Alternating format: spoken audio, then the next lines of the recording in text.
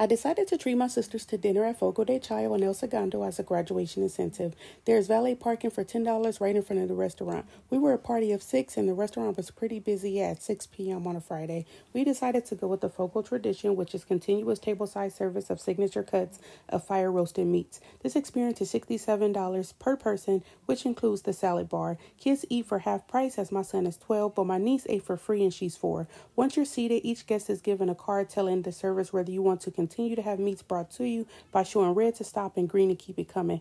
My favorite was the garlic steak. The meat at the top is rare, medium rare in the middle, and done to well done on the bottom skewers. I wasn't impressed with the salad bar as many dishes had low to no vegetables and fruits. The tomatoes were soggy and the lettuce had turned brown. I checked out the bathroom. It wasn't dirty but a bit messy. Overall, my rating is three stars. The food, servers, ambience, and cleanliness was okay, but the price just didn't match the quality for me.